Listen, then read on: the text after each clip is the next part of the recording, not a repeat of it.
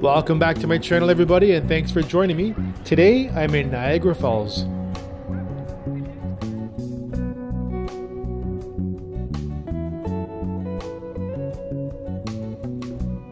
First up we have organic apple cider vinegar with the mother.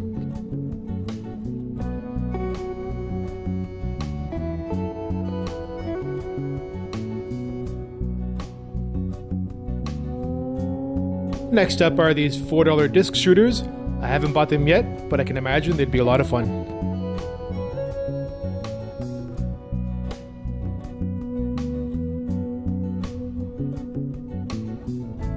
And next up, for $4, we have this Speck branded MacBook Pro 13 inch sleeve.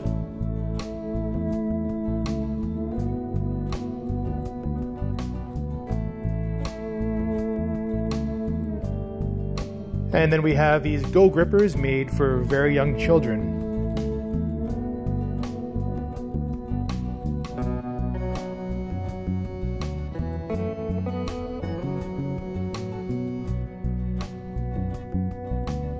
Lastly, we have these garden lights that are color changing.